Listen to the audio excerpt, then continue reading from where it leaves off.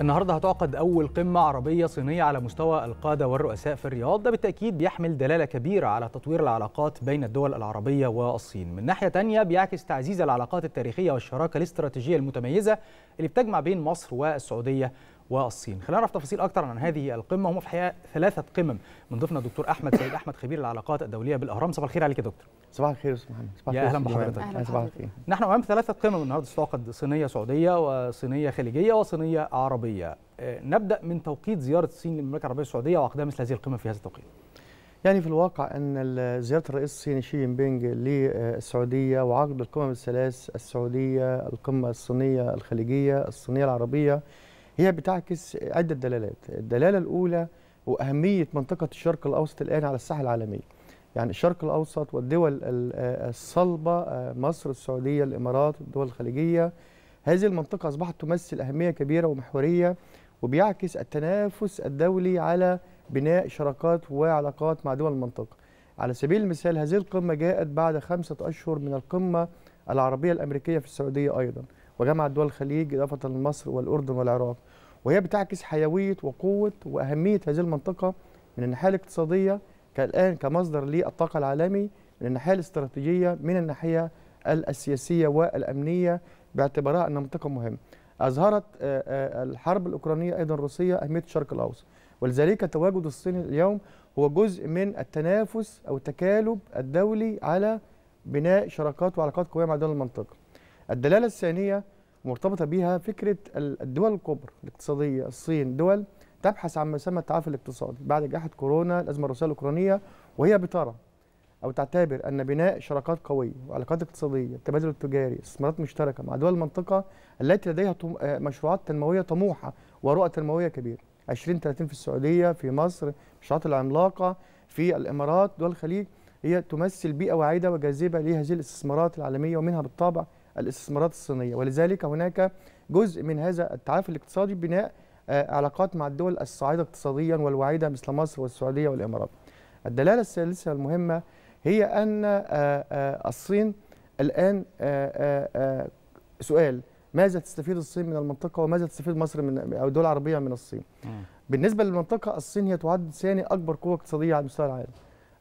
من الناحية الاقتصادية العلاقات التجارية بين الصين والدول العربيه تطورت في خلال تقريبا ال 20 عاما الماضية منذ إنشاء أو تأسيس ما يسمى منتدى التعاون العربي الصيني. مم. آه، في 2004 كانت العلاقات التجارية 36 مليار الآن في 21 وصلت العلاقات التجارية التبادل التجاري إلى 236 مليار أو 300 عفوا 336 مليار هذا بيعني أن الصين أصبحت الشريك التجاري الأول والأكبر لمنطقة الشرق الأوسط هذه نقطه النقطة الثانية آه، الصين مت- متواجدة في المنطقة متشابكة باستثمارات ضخمة يعني موجودة في كل الدول العربية في مصر على سبيل المثال في العاصمة الإدارية الجديدة هناك مشروعات صينية في منطقة آه، محور التنمية في قناة السويس والمنطقة الصناعية الصينية وغيرها من المشروعات الضخمة موجودة في دول المنطقة وبالتالي الصين موجودة من الناحية الاقتصادية من الناحية التجارية موجودة والان الصين موجودة تحاول أن توجد من الناحية السياسية أن. تقوي نفوذها في المنطقة.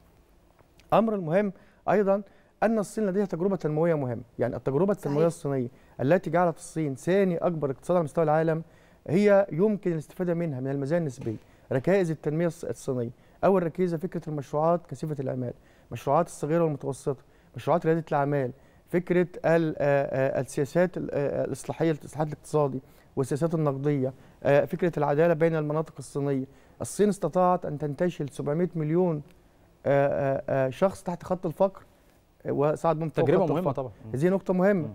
وبالتالي التجربة الصينية هي مفيدة للتجربة العربية. العالم العربي هو منفتح على الاستفادة من التجارب التنموية الكبرى في العالم. يعني كما هي في أمريكا في أوروبا في أمريكا اللاتينية. كل هذه التجارب هي مهمة بالنسبة للمنطقة العربية والاقتصادات العربية. وبالتالي هنا استفادة من المزايا من هذه التجربة ل- في الجانب التكنولوجي تكنولوجيا المعرفة. الصين الآن في آه، تكنولوجيا الجيل الخامس. كل هذه مجالات يمكن الدول العربية أن تستفيد منها. في المقابل ماذا تستفيد الصين؟ الصين المنطقة مهمة بالنسبة لها كسوق مهمة للسلع الصينية والمنتجات الصينية أيضا بالحصول على الطاقة في ظل أزمة الطاقة العالمية ودول الخليج الآن أصبحت هي أكبر مصدر آه، للطاقة للصين. والصين من أكبر المستهلكين للطاقة في العالم دلوقتي. بالطبع. والآن هناك مشروع ضخم آه، تتبناه الصين بالطبع الحزام والطريق وهذا يعني مشروع أنفقت عليه 13 تريليون دولار. هذا المشروع هناك توافق وتشبيك بين هذا المشروع الضخم وبين الرؤى التنموية في العالم العربي. يعني معظم الدول العربية منخرطة في هذا الموضوع.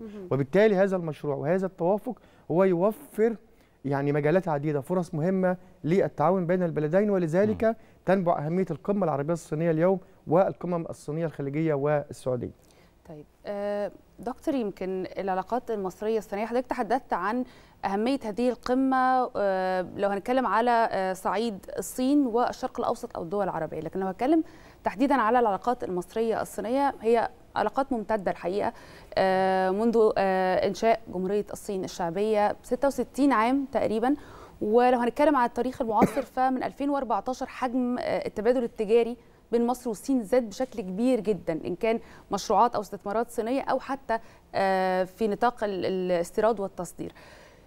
لو هنتكلم عن القمة دي تحديدا الآن ماذا يمكن أن تضيف لهذه آه، العلاقات؟ لو هتكلم مش علاقات الصين والدول العربية، الصين ومصر، بالنسبة للصين أكيد مصر هي سوق كبير جدا.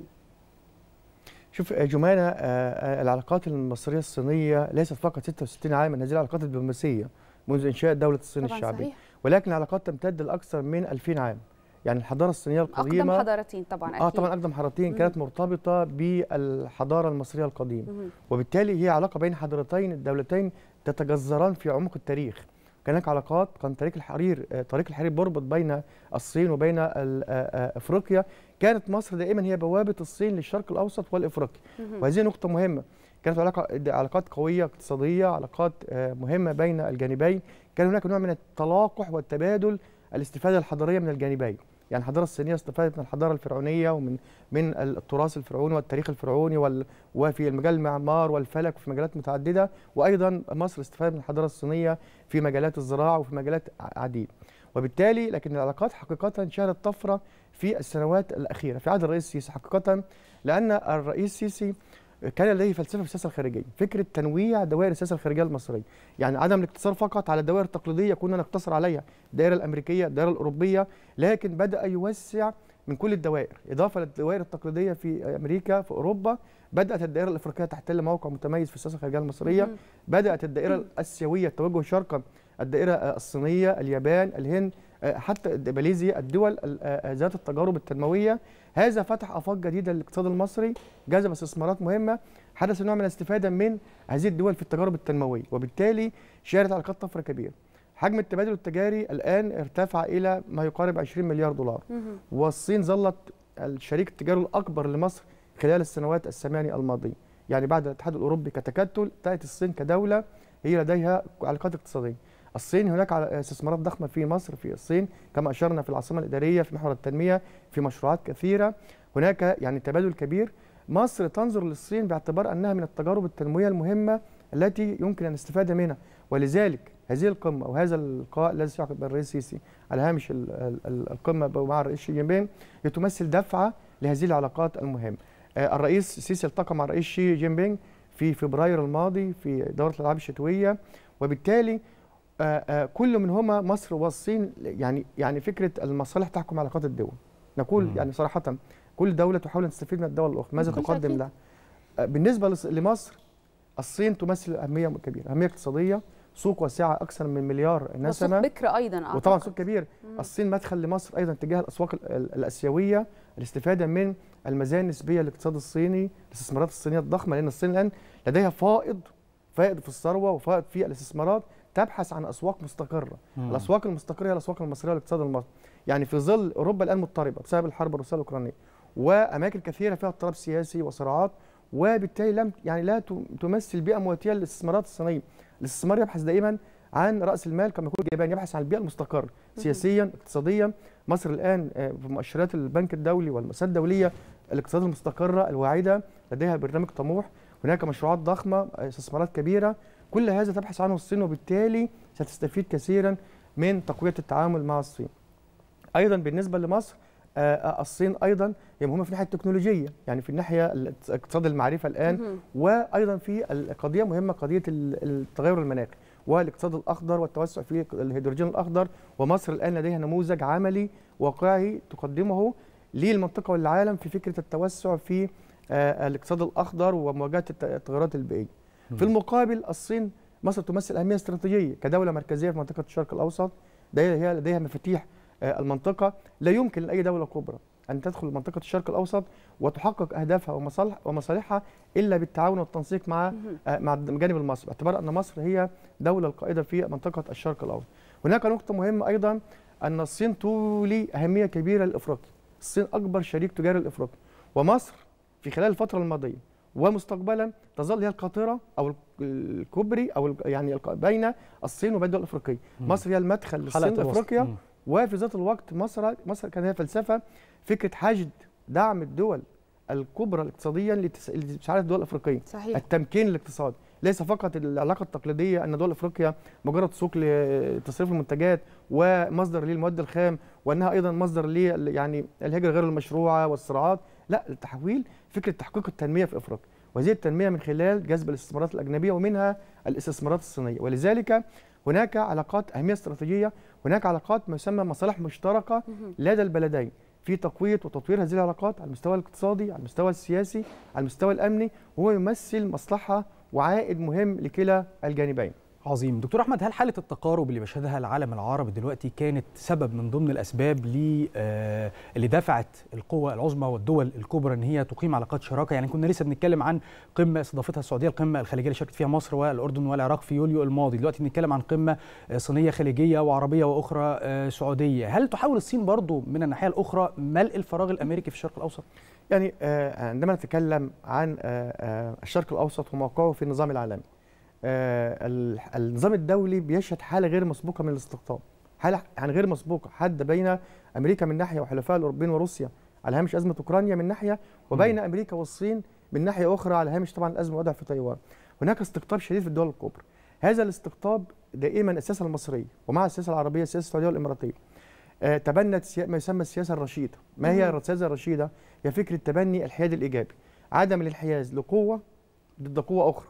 أو استبدال قوة بقوة أخرى. وإنما وإنما بناء شراكات متعددة متوازنة مع كل القوى الكبرى. الصين أمريكا روسيا الاتحاد الأوروبي كل القوى بما يعظم المصالح العربية والمصرية. بما في إطار الندية والاستقلالية. مم. ولذلك هذا أعطى المنطقة أهمية كبيرة. هذا ما دفع هذه الدول إلى التكالب إلى الإتيان المنطقة لأهمية هذه المنطقة. لأنها استطاعت الدول العربية ومصر من خلال فكره توحيد الموقف العربي من خلال تنقية الأجواء العربية من خلال القمم العربية واللقاءات ال- ال- الكثيرة الثنائية والثلاثية والرباعية والخماسية التي شهدناها وكان محورها بالطبع مصر والرئيس السيسي ساهمت في بناء موقف عربي قوي يستطيع أن يتفاعل مع هذه التغيرات المهمة في النظام الدولي وأن يجعل الدول العربية رقم مهم في المعادله الدولية. ولذلك هذا القمة هي والقمة الأمريكية وأيضا القمة الروسية كانت ستكون قمة روسية أفريقية وتأتي روسيا هنا. كل هذا بيعكس أن العالم الآن بدأ يدرك أهمية الشرق الأوسط بفضل أن المنطقة السياسة المصرية وبالتعاون مع القلب الصلب السعودية والإمارات استطاع أن يجعل العالم العربي من منطقة مفعول به ورد فعل للتغيرات العالمية وساحه الاستقطابات. العالمية والتنافس في منطقة الشرق الأوسط إلى أخذ زمام المبادرة والتحول لدور الفاعل واتخاذ المبادرات. وهذا ما يفسر لنا فكرة هذا التنافس وهذه القمم التي لم تأتي من فراغ بالعكس آه، وجود موقف عربي قوي وجود دول عربية صلبه ورؤى عربية موحدة هذا بيعطي ويعظم من القوة التفاوضية العربية في تعظيم المصالح العربية. وهذه نقطة مهمة جدا. ولذلك الآن هذه القمم هي ثمار ما قامت به مصر السياسة الخارجية. الرشيدة النزيهة في آه، تبني موقف عربي تنسيق المواقف العربية دائما واللقاءات المستمرة والتفاعل مع المتغيرات العالمية. كان هناك تحدي بعد الأزمة الروسية الأوكرانية. كيف يمكن للعالم العربي تجنب أو تقليل الآثار السلبية لهذه الأزمات ومنها الأزمات العالمية الأزمة. الروسية في أمن الغذاء في أمن الطاقة كان لابد من أن يكون هناك موقف عربي موحد وهذا ما نجحت فيه مصر في ال- ال- الفترة الماضية ولذلك القمة العربية الصينية اليوم سيكون لها مخرجات مهمة مخرجات اقتصادية مخرجات سياسية آه، نقطة أيضا آه، آه، مهمة ومتعلقة بفكرة ال- ال- ال- ال- العالم العربي هو بيميل أو يفضل فكرة التعددية في النظام الدولي. معنى.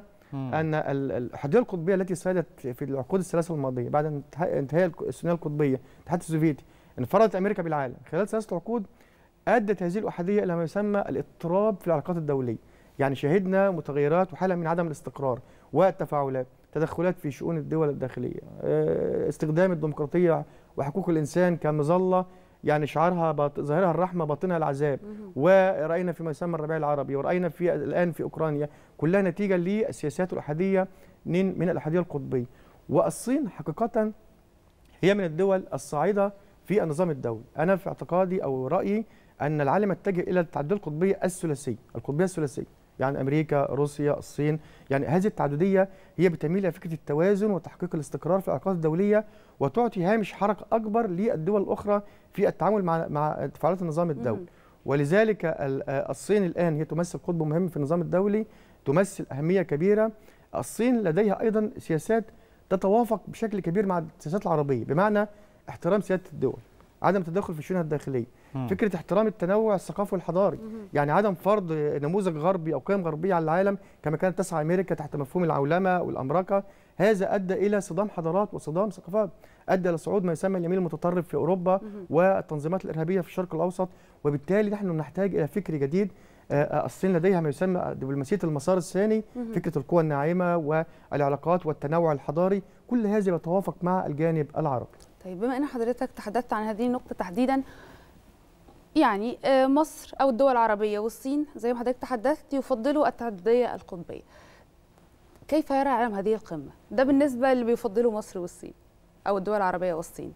كيف يرى العالم هذه القمة؟ يعني نتكلم عن العالم نتكلم عن أمريكا. أمريكا طبعا بتنظر بعين الريبة و آه، لديها منافس. الصين هي منافس أساسي لل بكل تأكيد رقم. مهم في في المعادلة طبعا. استراتيجيه الأمن القومي الأمريكي. اللي هي الأخيرة و... لأول مرة. هذه الاستراتيجية التي تحدد يعني السياسة الأمريكية. جعلت الصين هي المنافس والخصم الاستراتيجي الأول لأمريكا. مم. كانت تقليديا استراتيجيه الأمن القومي تركز على روسيا. الآن أصبحت الصين. الصين هي المهدد كما ترى أمريكا لإسقاط أمريكا من عرش النظام الدولي. أمريكا يعني تحاول أن تسيطر على العالم بالحدية القطبية. ولذلك هناك مخاوف. يعني عندما جاء الرئيس بايدن آه، في آه، في القمة في يونيو في يونيو في. يعني من خمسة شهور المنطقة كان من أحد أهدافه وقال صراحة قال أن عندما انسحبت أمريكا في ادارته في أول عام ونصف وانخرطت وبدأت تنسحب من المنطقة عسكريا وسياسيا. بدأت تترك فراغ سعت الصين وروسيا إلى مال وبالتالي أمريكا الآن تنظر بعين آه، يعني عين آه، الترقب لأنها منطقة الشرق الاوسط منطقة مهمة منطقة استراتيجية ومنطقة نفوذ مهمة يعني هناك نوع من التزاحم في النفوذ بين الصين من ناحية وأمريكا وروسيا هذا التزاحم هو يعني ذو وجهين. جانب سلبي وجانب إيجابي الجانب الإيجابي أن هذا بيزيد من أهمية المنطقة العربية الدول العربية في ظل موقفها الموحدة تستطيع أن تستفيد من هذا التنافس وهذا. آه، التزاحم من خلال تعظيم المصالح ومن خلال بناء سياسات آه، آه، تقوم على الحيادية وعلى ال- ال- البناء الشراكات مع الكل الاستفادة مع كل الدول مصالح اقتصادية وجانب سلبي إنه في بعض القضايا إن هذا ال- الصراع قد يؤدي إلى صراع يعقد بعض أزمات المنطقة يعني ملفات في سوريا في غيرها من الملفات كما رأينا في الفترة السابقة كان التنافس الدولي والإقليمي عامل سلبي على المنطقة العربية واطال. من الأزمات العربية وبالتالي العالم كله يترقب آه، آه، الجانب الأوروبي آه، كل الدول تترقب لأن الشرق الأوسط الآن أصبح رقم فاعل عظيم. خاصة في أمن الطاقة في ملفات عديدة ملفات اقتصادية وبالتالي هناك أهمية واهتمام كبير عالمي بهذه القمة وحضرتك بتتكلم عن الملفات هل لنا كدول عربية إن إحنا نعول على الصين كقطب دولي مهم آه، في دعم قضيتنا الأساسية وهي القضية الفلسطينية؟ يعني تاريخ الصين آه، منذ 49 48 آه، بشكل عام إيجابي فيما يتعلق بدعم القضايا العربية. يعني الصين هي من الدول دائمه في مجلس الأمن الدولي عضويه دائمه ودائما كانت نمط التصويت الصيني في مجلس الأمن كان في أغلبه أو في معظمه كان لصالح الدول القضايا العربية مم. كان داعم للقضايا العربية ولذلك الصين ما جزء من آه، هناك صيغة عدم الحياز جانب الصين الصين لديها أصلا سجل تاريخي في دعم القضايا العربية القضية الفلسطينية لأن الصين هي ترفض فكرة حتى التدخلات مفهوم الاحتلال آه، ترفض فكرة آه، تهتم احترام سيادة الدول مم. فكرة استخدام الديمقراطية وحقوق الإنسان من جانب الدول الغربية. كورقة ليه يعني تدخل لأغراض سياسية وبالتالي الصين هي لاعب مهم في في دعم القضايا العربية بالذات في الأمم المتحدة في المحافل الدولية الصين الآن أصبحت لاعب مهم في النظام الدولي هي قوة صاعدة قوة اقتصادية كبيرة قوة مهمة أيضا في قضية التغير المناخي. يعني الصين أيضا لديها توجهات متوافقه مع التوجهات المصرية في تقليل الانبعاثات ال- ال- الكربونية والحرارية وبالتالي الصين الآن هي هي تمثل أهمية كبيرة للمنطقة العربية. وأنا في اعتقادي عفوا ال- القمة سيكون لها مخرجات مهمة اقتصادية. يعني متوقع توقيع اتفاقات يعني بمليارات الدولارات بين الصين والدول العربية ومصر والسعودية والدول الخليجيه متوقع أيضا الاتفاق على وثيقة استراتيجية آه، ما بين الصين والدول العربية تحدد إنها إنها علاقات استراتيجية مهم. آه، وعلاقات قوية مهمه ويعني تعزز مفهوم الشراكة الاستراتيجية بين الجانبين. أيضا في مجال آه، يعني التشبيك ما بين آه، طريق مبادرات الحزام والطريق والرؤى التنمويه العربية سيكون هناك مخرجات مهمة. أيضا فيما يتعلق بأفريقيا يتعلق بجذب الاستثمارات الصينية أنا في اعتقادي أن العلاقات الصينية العربية بعد القمة ستكون مختلفة بشكل كبير عما كانت قبل القمه بكل تأكيد طبعا يعني آه، زي ما حضرتك تحدثت يا فندم في ظل وجود دوائر مشتركة بين الجانبين وفي ظل وجود علاقات ممتدة أيضا لو هنتكلم تحديدا بين آه، مصر والصين فنحن بانتظار مخرجات هذه القمة على أي حال نشكر حضرتك جزيل الشكر دكتور أحمد سيد أحمد خبير العلاقات الدولية بالأهرام نور- نورتنا في صباح الخير. شكرا يا فندم شكراً جميلاً. جزيلاً. شكرا